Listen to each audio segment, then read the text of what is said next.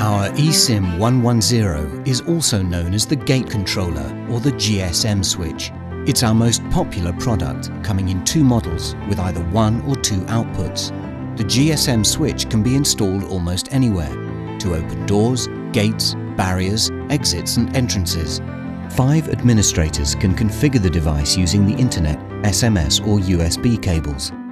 Administrators can add up to 500 users Optional features allow you to add up to 1,000 users, and wireless communication functions can be added to the device as well. When users call the device, it checks if their number is on its list. If it is, the call's rejected, triggering an output which activates the barrier or other device of your choice. If the number's not on the list, the ESIM 110 doesn't respond at all. The ESIM 110 even provides you with the flexibility to schedule when specific users can enter your facility. Barriers can open for users at particular hours on certain days or weeks.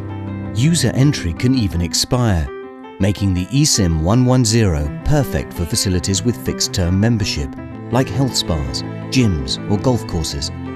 Why the inputs? Maybe you need to know whether or not the gates at your office complex or manufacturing facility are open or closed. Just set up an alert. If the gate hasn't closed after 5 minutes, the ESIM 110 will inform you. Importantly, we have a cloud server solution for professional service and maintenance.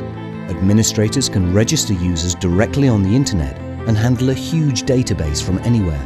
Users with smartphones can use a widget to open gates with one click. Open Sesame, the ESIM 110, the gate controller, customized by you, produced by ELDES.